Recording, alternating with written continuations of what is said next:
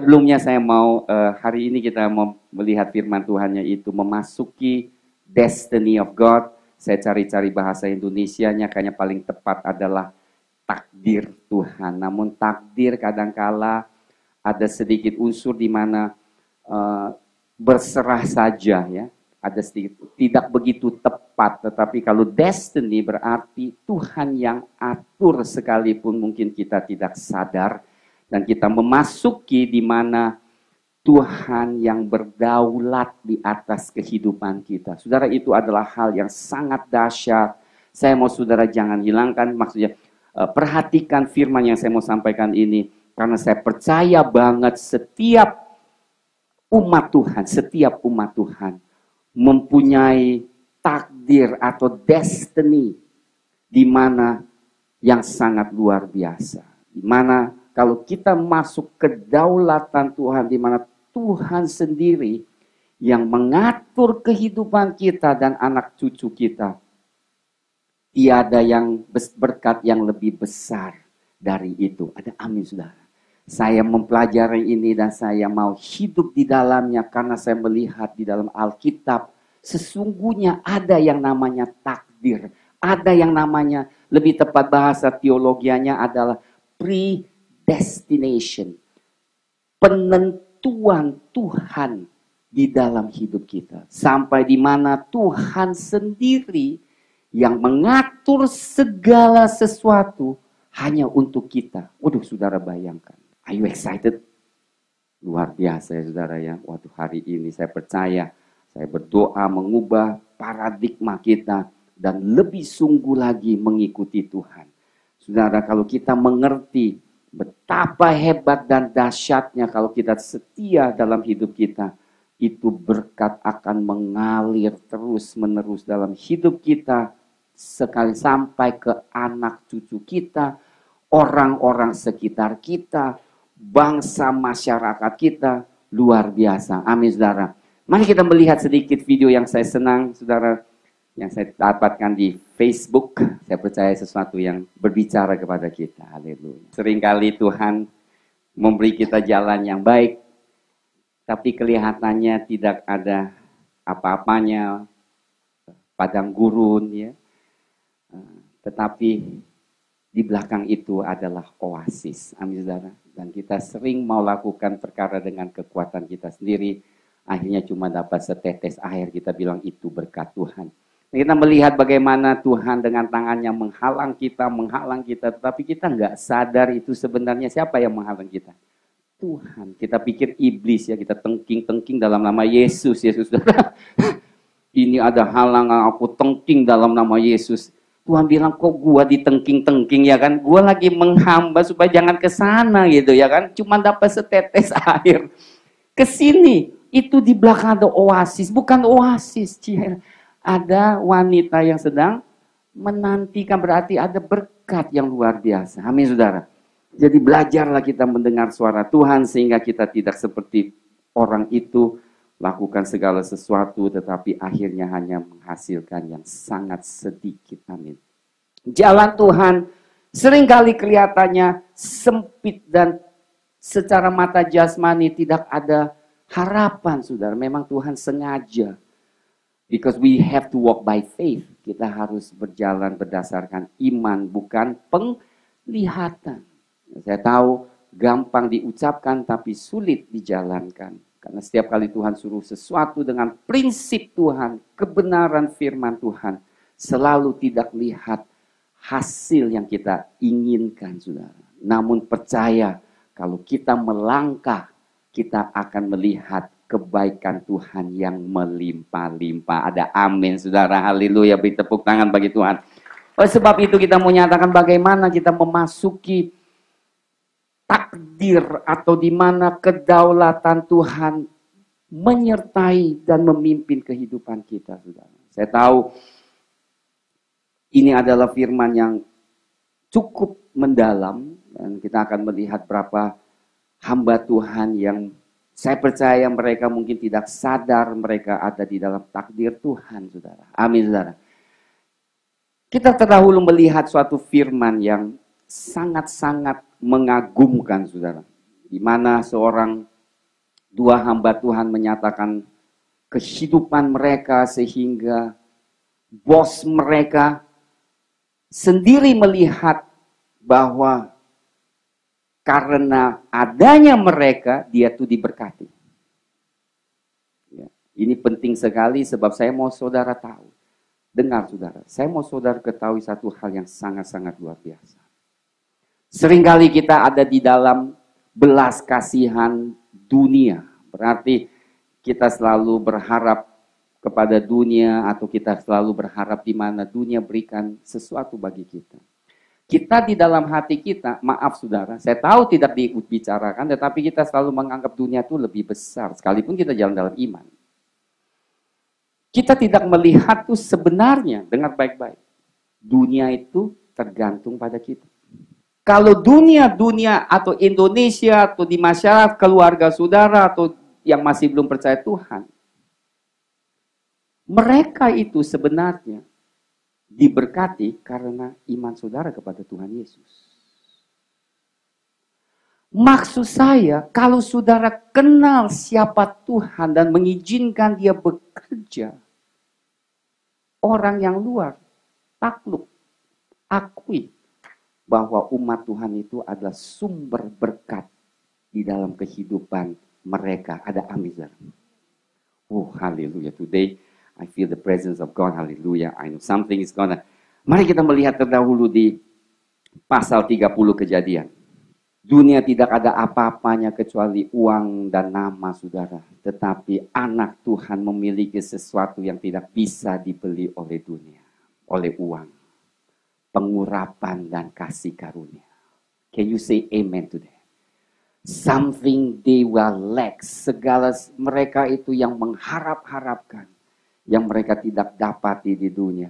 Adalah kasih karunia Tuhan dan pengurapan Tuhan yang ada di dalam hidup saudara. Nah, I want to lift you up. Saya mau mengangkat saudara. Jadi jadi orang Kristen tuh kita tuh sangat-sangat luar biasa lah secara rohani saudara. Jangan kita rasa wah kita lebih rendah ya kita nggak sebaik orang yang di dunia. Tidak saudara. Ini paradigma ini harus berubah. We are the blessings to them kita adalah berkat bagi mereka. Di pasal 30 kejadian, kita baca ayat 25 sampai ayat 27 dan sampai 28. Kita melihat, lihat satu, kita baca bersama. Satu, dua, tiga. Setelah Rahel melahirkan Yusuf, berkatalah Yakub kepada Laban, izinkanlah aku pergi supaya aku pulang ke tempat kelahiranku dan ke negeriku. Berikanlah istri-istriku dan anak-anakku yang menjadi upaku selama aku bekerja kepadamu, supaya aku pulang. Sebab engkau tahu betapa keras aku kerja padamu. Bayangkan ayat 27, saya mau sudah camkan ayat 27, garis bawahkan, lihat apa yang, yang Laban katakan. Tetapi Laban berkata kepadanya, sekiranya aku mendapat kasihmu telah nyata kepadaku, bahwa Tuhan memberkati aku. Uh, beri tepuk tangan bagi Tuhan. Tuhan memberkati Laban karena siapa? Karena Yakub sudah. Ini sekalipun dia diam-diam, dia memperoleh nantu ini, menantu ini. Ini hoki banget bahasa hokiannya ya kan? Jangan hoki ya kan? Berkat banget saudara. Kenapa? Dia bukan saja diberkati dengan menantu yang mengasihi dua anaknya. Beranak cucu. Tetapi dia dapat melihat usahanya tuh terus dibesarkan, diberkati sudah. Dan dia harus katakan, pada saat Yakub mau tinggalkan dia, dia tahu, waduh kalau Yakub tinggalkan saya, Bagaimana dengan usaha saya? Bagaimana dengan berkat di dalam perusahaan saya? Dengar saudara. Saya tidak mengajarkan umat Kristen untuk sombong, tidak. Karena Yakub pun dikatakan bekerja keras. Ada amin saudara? Rajin dan tanggung jawab. Kenapa dia rajin dan tanggung jawab?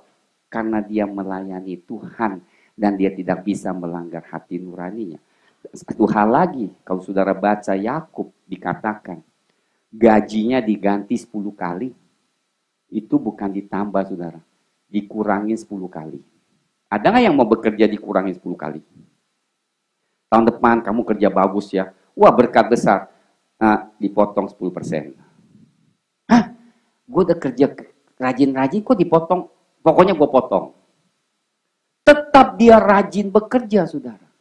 Tidak ada orang Kristen, tidak ada orang di luar Kristen yang mengenal Tuhan yang mau lakukan seperti itu. Tetapi kalau saudara mengerti satu hal, saudara kerja bukan untuk laban, saudara kerja untuk Tuhan, maka damai sejahteramu akan melingkupi. Amin, saudara.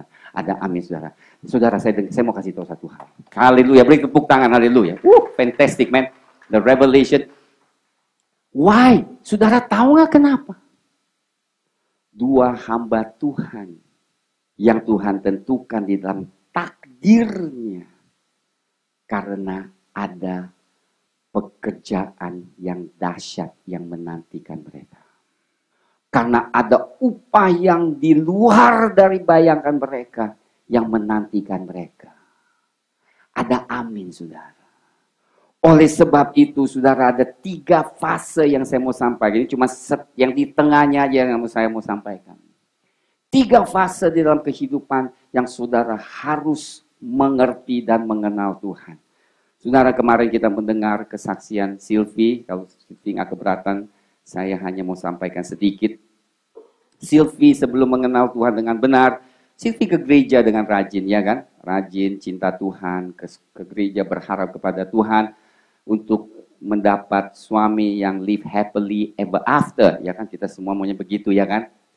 Tetapi kenyataan tidak demikian, sehingga mengalami banyak yang kesulitan karena Silvi sendiri mengaku pada saat itu jatuh cinta dengan seorang yang belum di dalam iman Tuhan Yesus. Saudara dengar baik-baik. Kenapa saya mau katakan apa yang saya mau sampaikan? Ke gereja saja. Kalau tidak mentaati firman, tidak ada dampak dalam hidup. Saya mau saudara ke gereja. Saya mau saudara duduk di sini, duduk manis. Tetapi jikalau hanya tiap minggu datang gereja, pikir sudah memenuhi kewajiban di hadapan Tuhan. Ya Tuhan senang, tetapi saudaranya yang sedihnya. Belum tentu. Bahkan tidak mungkin mengalami suatu berkat yang dari Tuhan kalau tidak menjalankan perintah Tuhan. Akhirnya keputusan yang kita ambil, perbuatan yang kita lakukan, tidak mendatangkan berkat. Sekalipun saudara ke gereja dengan setia setiap minggu. Saya mau saudara tuh hidup di dalam kemenangan. Kenapa saudara ke gereja? Kenapa saudara mau berbakti di tempat ini atau di tempat lain? Saya tidak peduli di mana gereja saudara berada. Maksudnya apa saudara? Maksudnya mendapatkan suatu kebenaran firman untuk diaplikasikan di dalam hidup saudara. Sehingga terobosan itu terjadi di dalam hidup saudara. Ada amin. Masalah saudara hadapi, yang saya hadapi, semuanya tuh besar-besar. Gunung yang gede-gede. Gua sih nggak mampu. Nggak ada yang mampu. Kenapa nggak mampu? Coba, coba, coba tanya, tanya, saudara. Betul kan? Nggak mampu. Sengaja Tuhan berikan itu, izinkan itu. Umat Israel mau masuk ke Yeriko yang pertama nggak mampu dulu. Yordan masih kecil lah lewati ya. Yeriko. Dikatakan ditutup, tidak mungkin orang bisa masuk. Hanya terkecuali dengan intervensi keilahian, kedaulatan Tuhan baru kita bisa terobos. Amin. Ada amin, haleluya. Oleh sebab itu, saudara, apa yang disampaikan di firman Tuhan ataupun di mimbar yang saya mau sampaikan, ini isi hati saya. Isi hati saya. Tujuannya, lakukan. Sekalipun kelihatannya padang gurun, padang pasir, di belakangnya oasis. Di belakangnya berkat berkat yang melimpah-limpah, saudara. Yang saudara harapkan sedang menantikan di sebelah sana. Tetapi kalau kita tidak mengerti, kita kehilangan, saudara. Kita pikir kita sudah dapat. Saya katakan, belum dapat. Hanya setetes air itu semua karena hasil pekerjaan yang kita banting tulang, saudara. Tuhan tidak mau kita demikian. Rajin sama banting tulang beda, saudara. Rajin itu bekerja dengan kita harus selesaikan. Banting tulang itu nggak tidur pagi malam gitu ya. Bergadang untuk uang, untuk sesuatu yang kita butuh. Saudara itu bukan kehendak Tuhan. Ada amin, saudara. Can you see the difference? Apakah saudara bisa lihat bedanya, saudara? Diligent is we have to do it. Diligent itu berarti rajin, ya kan? Rajin itu menyelesaikan tugas yang kita harus selesaikan. Dan kita damai sejahtera, pulang tidur nyenyak, haleluya, damai sejahtera. Besok pagi kita kerjakan lagi, puji Tuhan. Nggak usah banting tulang. Banting tulang itu sampai kerja malam, cari terus, nafkah, uang, puas-puas, dapatnya sedikit. That is not what God wants. Selalu ingat Tuhan mau kita di dalam perhentian. Sudah dengar? Lihat ya saudara, saya luar biasa makanya Ibrani.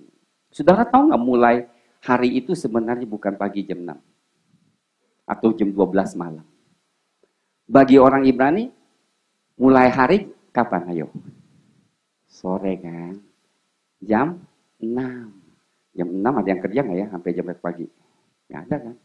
Satu lagi, sudah dengar baik-baik. Pada saat Tuhan ciptakan langit dan bumi. Berapa hari? Enam hari. Yang terakhir, manusia diciptakan. Yang keenam. Hari ketujuh, istirahat. Saya tanya, hari ketujuhnya Tuhan, hari keberapanya manusia? Hari ketujuhnya Tuhan, waktu Tuhan istirahat. Hari pertama, hari apanya Tuhan? Hari uh, hari pertamanya manusia ya. Setelah Tuhan ciptakan juga, Tuhan malamnya dikatakan malam dan pagi. Artinya apa saudara? Setiap permulaan Tuhan mau kita di dalam perhentian. Is that interesting?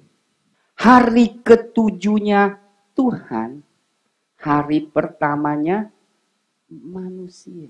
What does that mean? pada saat Tuhan ciptakan manusia, dia mau kita enjoy dia dulu, nggak usah buru-buru kerja. Siapa yang di bos ini yang langsung cari kerja, karena besok lu nggak usah kerja ya, istirahat dulu. Tapi gaji hitung, ada nggak mau? Semua juga mau kerja di perusahaan itu kan?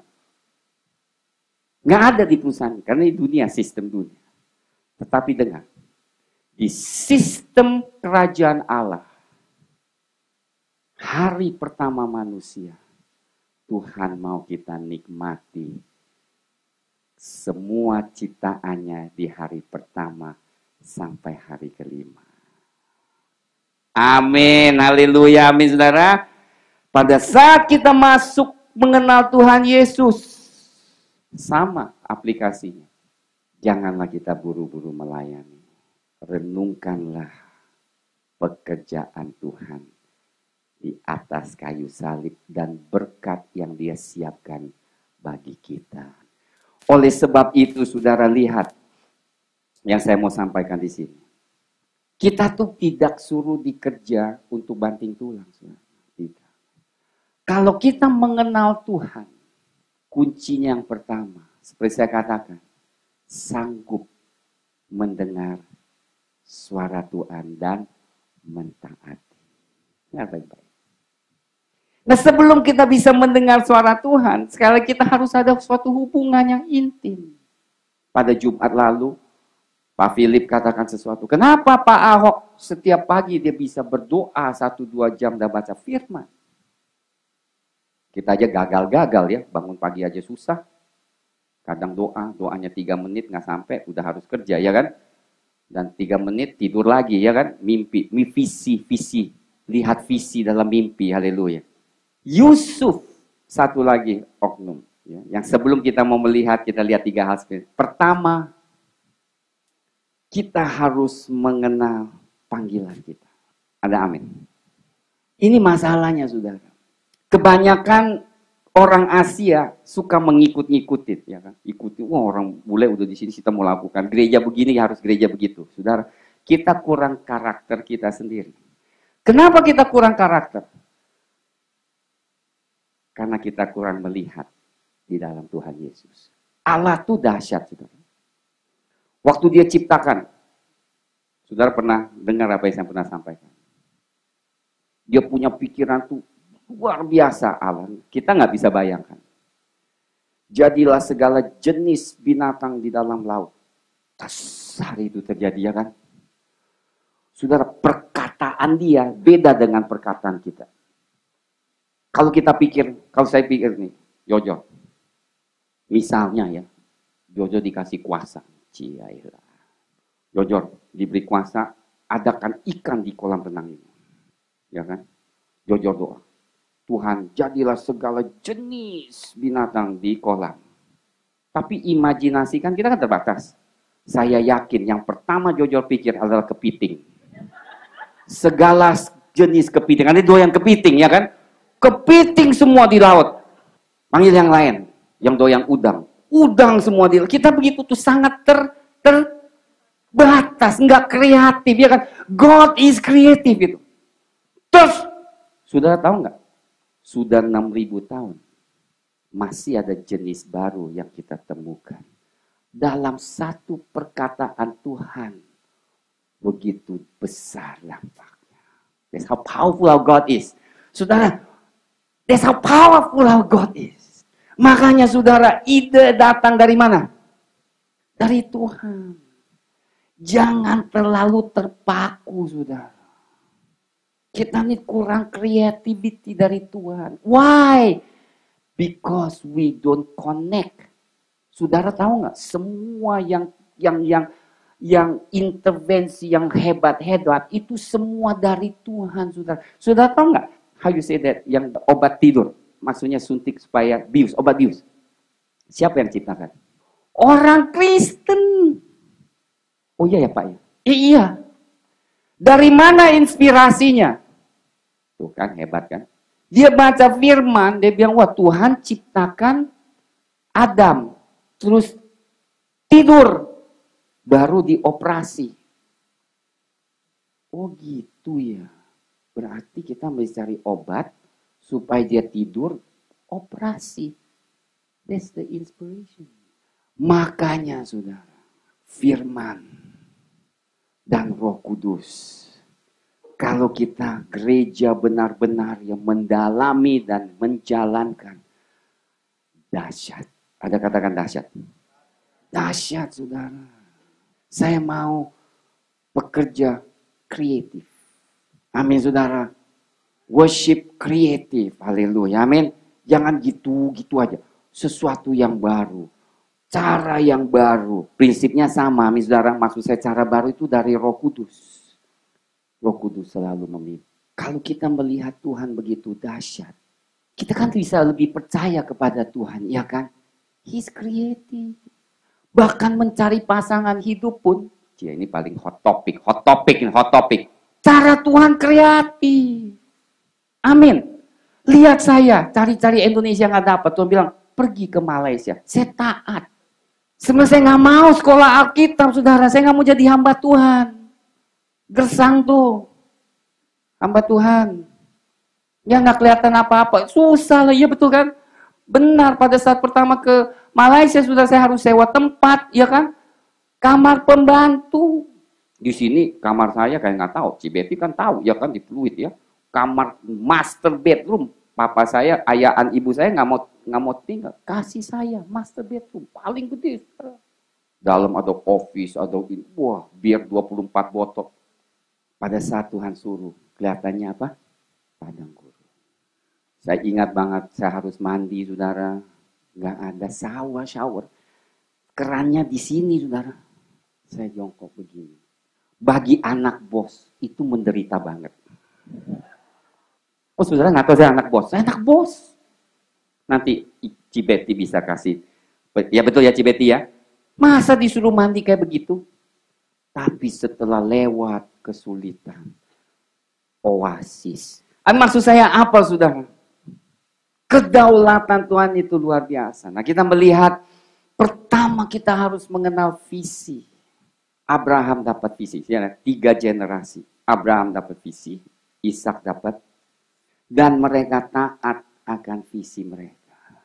Oleh karena Abraham taat, Ishak taat, Yakub taat. Lihat, tiga, tiga generasi. Abraham taat, taat sampai diserahkan Ishak. Ya, pada saat itu kita pernah bicara kurang lebih usia 30 tahun sudah, persis. Pada Tuhan Yesus meninggal 30 sekian tahun sudah. 33 pernah kita baca itu. Ishak taat. Waktu disuruh jangan pergi ke mana-mana, dia tinggal. Dia taat menikahi istri yang Tuhan sudah tentukan. Ketiga, Yakub agak sedikit berontak, tapi akhirnya taat kembali ke battle dan menyembah Yehova.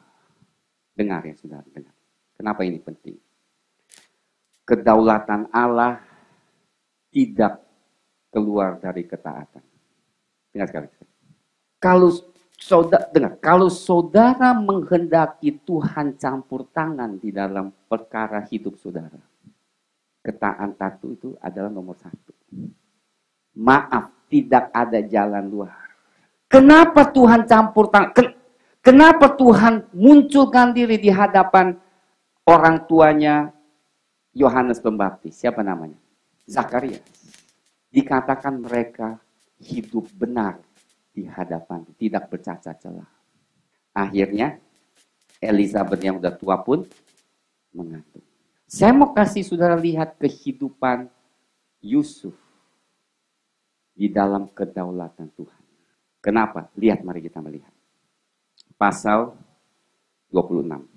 Dari Ishak, kemudian kita melihat Yusuf. Apa yang Tuhan katakan kepada Ishak?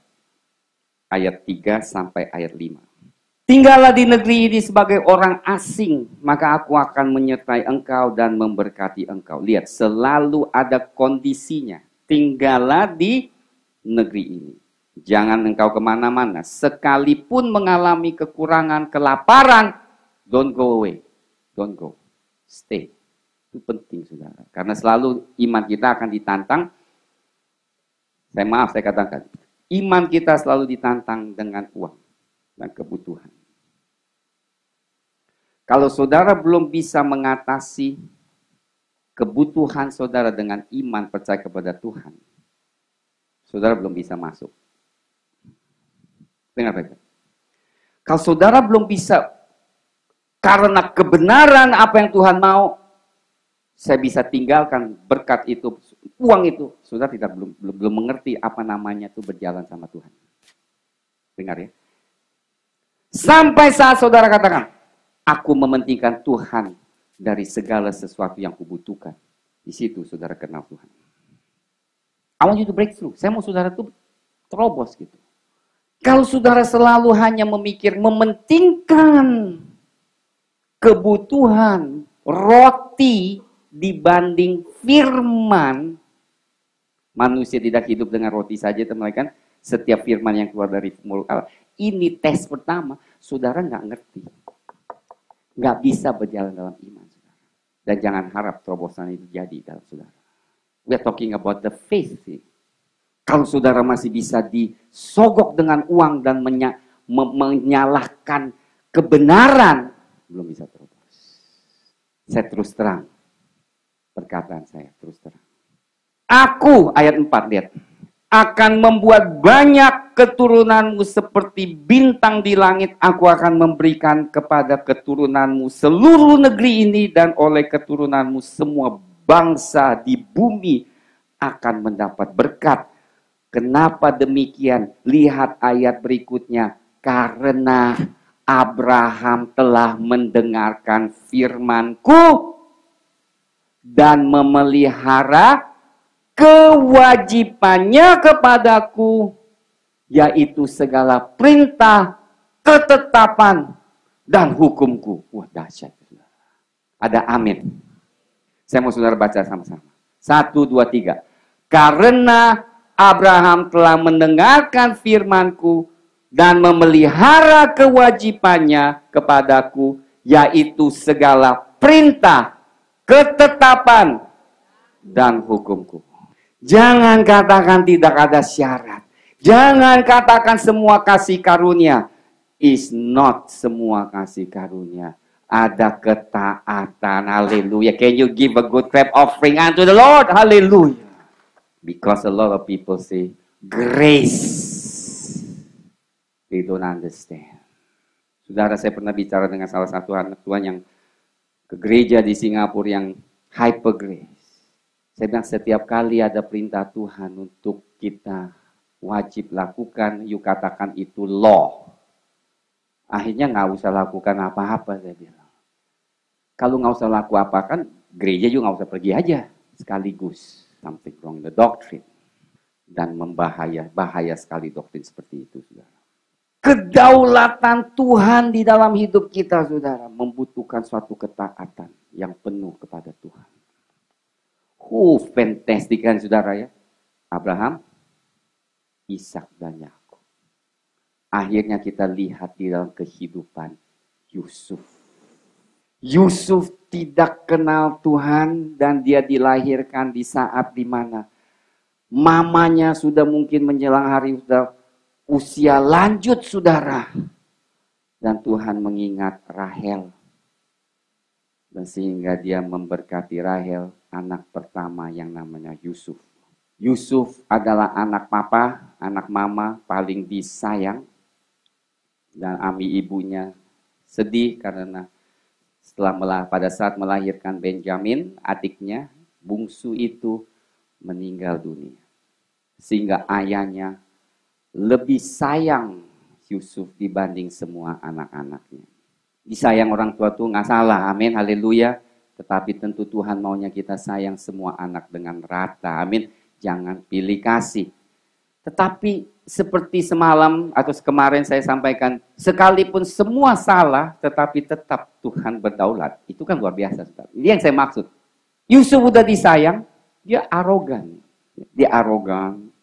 Dia menjelek-jelekin saudaranya karena dia kes, dia kan jika representatif ayah ya kan. So, lihat tuh. Saudara-saudara lu. Lagi ngapain tuh? Ya, Yusuf. Pakai jubahnya panjang bukan jubah berwarna ya saudara. Seperti saya katakan, bahasa Ibrani sesungguhnya bukan jubah yang berwarna-warna, tapi jubah yang panjang. Pergi lihat, dia sangging ini kan. Dia kan kesenangan. Kalau bilang jelek-jelek saudara, papanya lebih sayang dia kan. Akhirnya pokoknya ditegur. Tuh, apa Yusuf bilang? Ya kan, papanya udah nggak adil lagi. Membela Yusuf sekalipun dia katakan yang bukan-bukan. Sehingga membuat saudaranya benci sama dia. Saudara, kita lihat, wah kacau. Dengar ya. Apa bedanya? Apa bedanya kalau dia bukan di dalam kedaulatan Tuhan? Dia akan tidak ada masa depan. Betul? Orang yang dimanja ini ada masa depan nggak? Tapi karena dia ada di dalam kedaulatan Tuhan, haleluya, saya haleluya. Segala kelemahannya pun Tuhan jadikan sesuatu yang memenuhi tujuannya. Isn't that powerful? Kenapa saya katakan? Karena dia arogan, Tuhan sengaja sengaja kasih dia mimpi. Mimpinya nggak tanggung-tanggung. Lu punya apa namanya? Gandum. Tunduk kepada gandumku. Cara ngomongnya juga lu tau nggak? Lu tau nggak ya? Gua kemarin mimpi, lu tau nggak? Ya, pasti ngomongnya begitu kan? Kita yang yang dari Indonesia, Yusuf Indonesia. Lu tahu nggak tuh? Gua kemarin mimpi lo. Ada 11 12 gandum tuh. Gandum lu semua tunduk pada gue. Kemudian dia bilang ada matahari dan bintang-bintang bulan menunduk kepada dia. Saudara, panaslah saudaranya ya kan. Terjadi cemburu dan marah ya kan. Tapi lihat saudara, kalau kita sudah baca semuanya, semua itu bukankah di dalam kedaulatan dan rencana Tuhan? Uh, kalau dia nggak arogan, saudaranya nggak akan mau jual dia ke Mesir. Kalau dia nggak ke Mesir, dia tidak bisa memenuhi takdir, the destiny of God. Hallelujah. Can you say amen to that? Hallelujah. Amen. It's amazing. Siapa powerful God Saudara saya benar-benar, makanya pada saat saya lihat kedaulatan Tuhan, saya mau Tuhan campur tangan di hidup anak saya. Tapi nggak gampang ya saudara ya. Siapa orang tua katakan, ya kan? Biarlah gua anak gua dijual jadi budak ke Mesir. Nanti jadi JPT mau nggak tuh? Seiman-imannya pun JPT bilang, kayaknya ini bukan dari Tuhan nih. Nanti doain dulu nih. Iya kan saudara? Sebenarnya bisa ngomong, iya gue mau, gue mau anakku seperti Yusuf. Nah mau kan anaknya jadi budak dulu, ya kan? Jangan yang budak, pembantu aja udah yang bener aja. Anak raja masa jadi pembantu, ya kan? Si sometimes we like the good thing. Kita sukanya yang yang hasil akhirnya kita nggak lihat. Ini belum jadi budak loh, masih murid, udah susah. Tapi kalau kita setia, kita akan lihat hasilnya yang luar biasa. Makanya saya katakan, kedaulatan Tuhan hanya datang. Kedaulatan yang baik. Di atas kehidupan kita, anak cucu kita. Hanya datang saat kita sendiri yang mentaati segala perintah Tuhan dan ada di dalam kehendak Tuhan. Apa yang terjadi dalam Yusuf? Dia dijual pada saat dia dijual, itu adalah saat di mana saya katakan dua minggu yang lalu, kita memasuki persekutuan penderitaan. Message kita kan semua ada hubungannya. Masuk di dalam persekutuan penderitaan. Nggak ada orang yang suka. Siapa yang suka masuk terowong? Sepi, luar dari keluarga, nggak ada yang mengerti, disalah mengerti, lakukan apa juga nggak benar. Kalau saat saudara ada di situ, mari bersuka cita sama semua yang mengalami. Haleluya. Kok nggak ada haleluya? Kurang yakin ya saudara ya. Saya tahu gereja kalau ngomong soal penderitaan udah gini. ngomong berkat dong Pak. Petrus mengalami penderitaan ingat? digertak, dia keluar, dia katakan terima kasih Tuhan kami karena engkau anggap kami layak menderita bagi engkau. Saya katakan di Women's Fellowship lebih di menderita caci maki, jangan kita usahakan berhentikan. Saya katakan kalau orang ngomong jelek, eh lu jangan diamin. Kenapa? Karena gua lagi dapat berkat. Saya sungguh waktu saya ngomong ini, saudara. Saya nggak tahu di luar mungkin ada ngomong apa, tetapi kenyataan Betul kan? Saya ke Amerika, ya kan?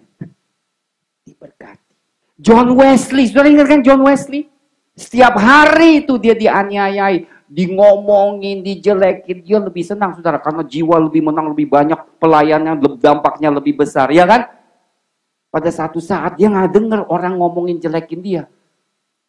Dia bilang, Tuhan jangan-jangan gue mundur rohani nih. Turun dari kuda.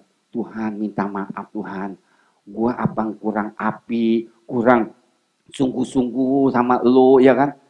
Baru turun orang lempar batu ke kepalanya. Terima kasih Tuhan, gua masih dianiayai.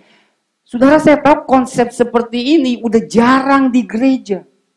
But I want to encourage you. Saya mau saudara tuh jangan heran gitu. Yang saya udah pernah lewati. Sesungguhnya kalau saudara bersyukur dan terima kasih karena kebenaran, bukan kebodohan ya saudara ya. Karena bukan kebodohan saudara.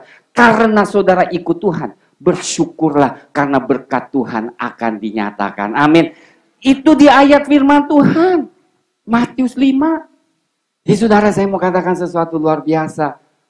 Kalau saudara hendaki kedaulatan Tuhan. Siapa yang mau angkat tangan? Ayo. Siapa yang mau dalam hidup saudara? Dan anak-anak saudara. Amin. Amin suami, istri, saudara. Mau saudara Tuhan campur tangan? Mau saudara Tuhan campur tangan? Maulah. Bukan taat kepada pendeta, taat kepada firman Tuhan. Kedua, sebelum saudara masuki takdir destiny Tuhan, saudara harus menjadi berkat bagi orang sekitar. Lihat lagi di pasal 39. Tadi kita katakan Yakub, sekarang kita lihat Yusuf. 39 ayat 5. Saya mau saudara baca bersama. Sama. Satu. Udah siap? Satu, dua, tiga. Sejak ia memberikan kuasa dalam rumahnya dan atas segala miliknya kepada Yusuf, Tuhan memberkati rumah orang Mesir itu karena apa? Yusuf sehingga berkat Tuhan ada atas segala miliknya baik yang di rumah maupun yang di ladang segala miliknya diserahkannya pada kekuasaan Yusuf dan dengan bantuan Yusuf ia tidak sah lagi mengatur apa-apapun selain dari makanannya sendiri. Adapun Yusuf itu manis sikapnya dan elok Yusuf menjadi saluran berkat bagi bosnya. Saudara, apakah kita suka atau tidak suka sebelum kita memasuki oasis takdir yang Tuhan tentukan.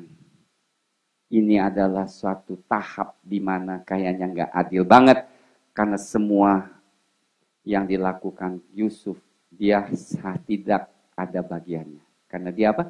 Dia hanya seorang budak. Demikian juga Yakub, saudara dikatakan pada saat kambing dombanya dimakan serigala, dia harus menggantikan bagi Laban.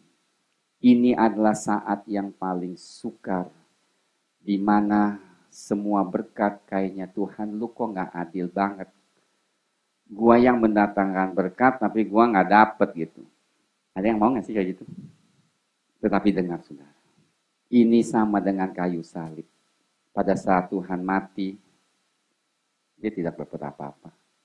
Dia hanya untuk tujuan menyelamatkan kita saja. Semua pengorbanan dan pelayanan dalam doa, sering kali kita tidak melihat kebaikan untuk kita pada saat itu. Tetapi jangan khawatir, itu hanya tahap yang kedua. Kita belum masuk tahap ketiga, ya kan? Pada saat ketiga, saudara.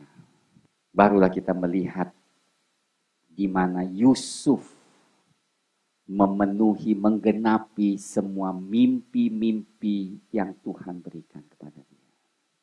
Ini yang kita nantikan, saudara. Ini yang tidak mungkin terjadi karena dikatakan ke saudara kalau saudara masuk Yusuf, saudara bayangkan Potifar dia sudah layani dengan setia dia bisa dipercayakan, akhirnya dia dijelekin oleh istri Potifar menurut Alkitab Ibrani yang Pastor Kristus kasih kepada saya. Dikatakan itu karena Yusuf menuai apa yang dia tabur. Dia jelek-jelekkan saudaranya, sekarang istri Potifar memfitnah dia. Dan karena dia, oleh sebab itu dia masuk ke penjara, tetapi tetap saudara, semuanya ada di dalam kedaulatan Tuhan. Saudara saya bisa lihat Yusuf itu dari lahir Sampai dia jadi Perdana Menteri, dia meninggal, saudara. Hidupnya semua ada di tangan Tuhan. Dia tidak jatuh dalam dosa pun karena ketaatan Abraham, Ishak dan Yakub menghindari dia jatuh di dalam cobaan kepada Potifar. Istri Potifar, maaf. Yesus bisa dicobai. Memang ada kemungkinan dia jatuh, tapi saya katakan tidak mungkin dia bisa jatuh karena kedaulatan Tuhan di dalam hidupnya. Seandainya kita taat dalam Tuhan dalam segala hal pada saat ini, mungkin di masa depan kita ada mengalami cobaan, tapi karena ketaatan yang di sini yang dilakukan sudah dengar baik-baik akan membuat kita kuat menghadapi cobaan dan tantangan dan tidak jatuh di dalamnya. Haleluya. Amin saudara. Oleh sebab itu pada saat di mana segala sesuatu dalam damai sejahtera, setialah dekati Tuhan, setialah berdoa supaya Tuhan bisa memberkati. Amin. Saudara mau lihat nggak sih kedaulatan Tuhan? Lihat saudara. Mungkin bagi Yusuf, dia hanya minta kepada juru anggur. Dia katakan, lihat kalau kamu melihat bahwa mimpimu digenapi sesuai dengan interpretasi yang saya berikan. Jangan lupa aku. Aku ini disalahin. Aku nggak ada minat mau memperkosa istrinya Potifar. Jangan lupa ya. Dia hanya mau keluar. Dia hanya mau keluar penjara. Siapa yang mau dipenjara? Gak ada kan? Sekalipun kasih karunia besar. Siapa sih yang mau dipenjara? Gak ada. Dan dia pikirannya hanya apa? Gue kalau udah bisa keluar penjara, kamsia-kamsia deh cukup dah. Tapi dia nggak tahu pikiran manusia hanya terbatas. Tuhan mempunyai rencana yang besar. Mengangkat dia menjadi Perdana Menteri di Mesir. Haleluya, ada amin, haleluya, amin. Saudara mungkin katakan, aduh Tuhan, kalau gue bisa keluar di masalahnya, gue udah kamsia-kamsia. Tuhan bilang, enggak, lu bukan hanya keluar saja, gue akan angkat lu berkati lu berlimpah-limpah. Haleluya, ada amin, haleluya. Beri tepuk tangan bagi Tuhan. Kita selalu maunya yang kecil, ya kita punya ini apa? Sangat paisengki sama Tuhan. Tuhan gue, ya kontrak sekali, gue kamsia nih dapat captel kamsia deh. Tuhan bilang, masa gue udah siapin lu MM, lu masa mau cuma captel? Saya bukan soal uang, saudara. Tetapi suatu tujuan di mana Tuhan mau pakai. Ya kan, Yusuf, saya katakan, kalau Yusuf tidak bisa menjadi Perdana Menteri, semua kelimpahan tujuh tahun itu nggak ada yang atur, tujuh tahun kesusahan, semua keluarga dia di kanan mati habis. Saya mau tanya, janji Tuhan kepada Abraham, Ishak dan Yakub bisa digenapi nggak? Satu hal kita belajar sudah. Dengar, saya mau sudah ingat satu hal. Berarti kalau saudara ada di dalam rencana Tuhan, saudara tidak akan gagal. Dengar baik-baik. Kenapa nggak akan gagal?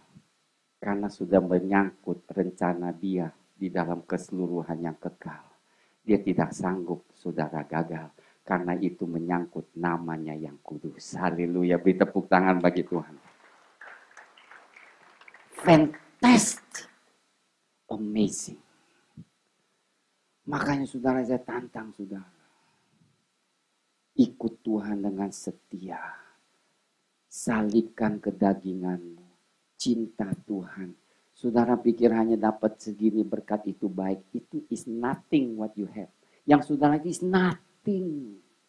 Saat dia jadi Perdana Menteri, saudara bayangkan Firaun aja tunduk. Dia katakan Firaun pun mendengar nasihat saya. Kan siapa yang jadi raja sebenarnya?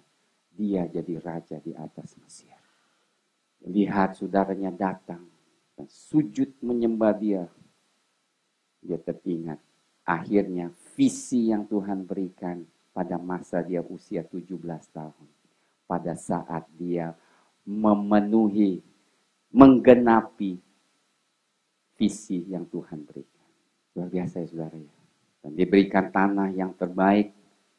Dan akhirnya saudara, dengar yang pasal 50 ayat 20.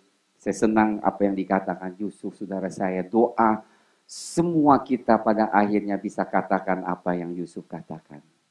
50-20. Mari kita baca bersama. Satu, dua, tiga. Memang kamu telah mereka-rekakan yang jahat terhadap aku. Tetapi Allah telah mereka-rekakannya untuk kebaikan dengan maksud melakukan seperti yang terjadi sekarang ini, yakni memelihara hidup suatu bangsa yang besar. Saudara, semua kejahatan yang dilakukan kepada Yusuf membuat Yusuf mengerti.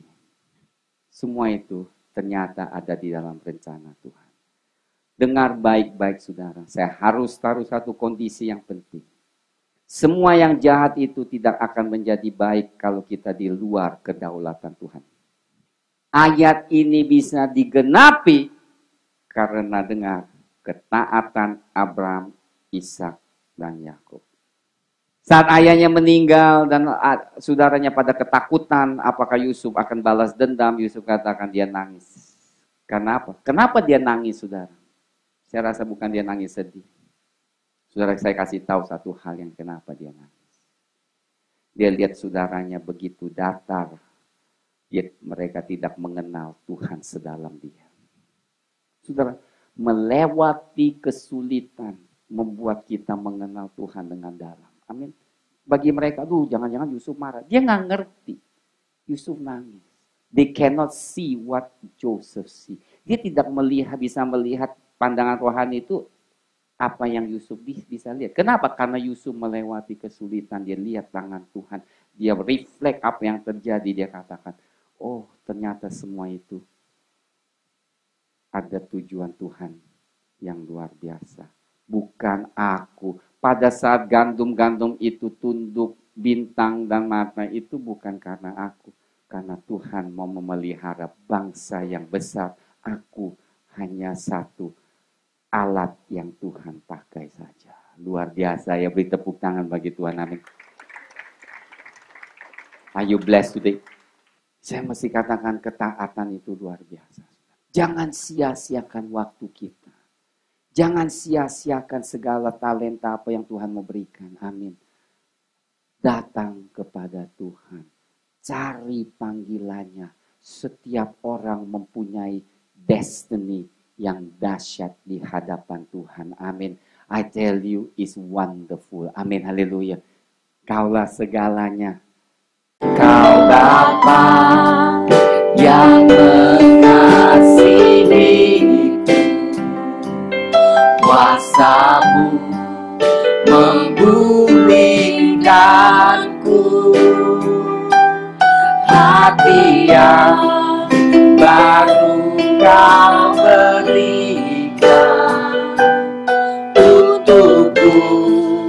dapat melihat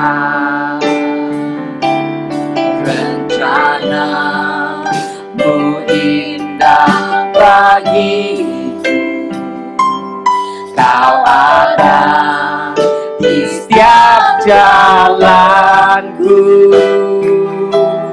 Hatiku haus dan lapar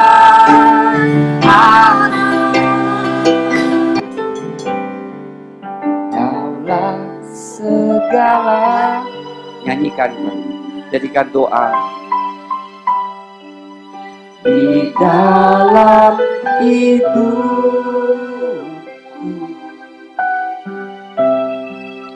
kerajaanmu. Kebenaranmu. Itu bagianku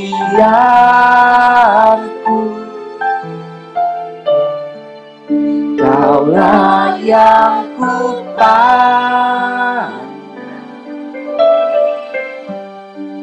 selama hidup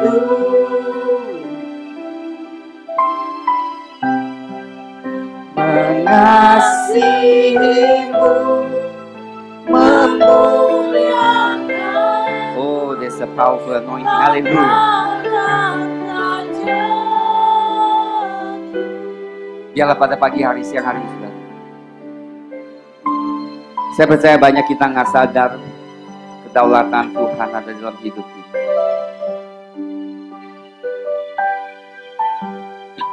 Kita bisa menghadapi masalah dengan berontak, tapi kita bisa menghadapi masalah dengan menerimanya dan syukur.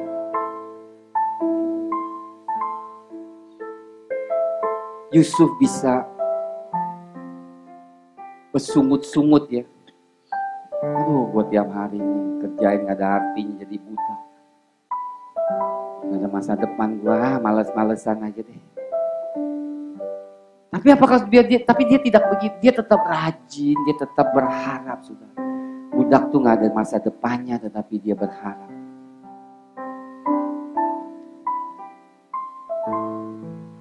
Saya tidak yakin dia masih ingat mimpi yang diberikan Tuhan.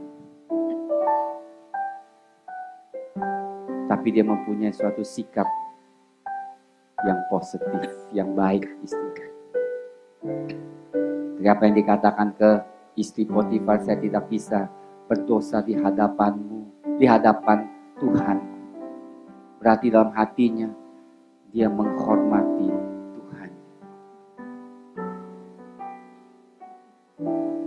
Saudara, sore hari ini saya percaya kita harus rubah sikap kita. dan mulai bersyukur kedaulatan Tuhan yang dia bisa kerjakan di dalam hidup kita.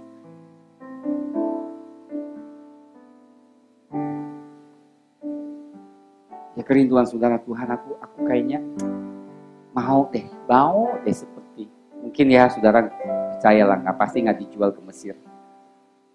Tapi mungkin menghadapkan masalah yang saudara hadapi seperti di penjara. Saya akan doakan saudara supaya kasih karunia Tuhan melimpah di dalam hidup saudara. Kasih karunia dahsyat.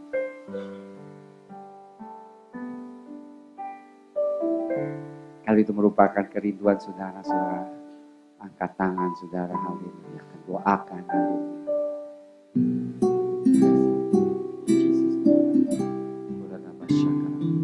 kita gunakan setiap waktu saat untuk berdoa dan bersyukur kepada Tuhan. Doa haleluya supaya Tuhan bekerja dalam hidupmu. Saya percaya banget saudara. There's a great anointing upon you, Betty.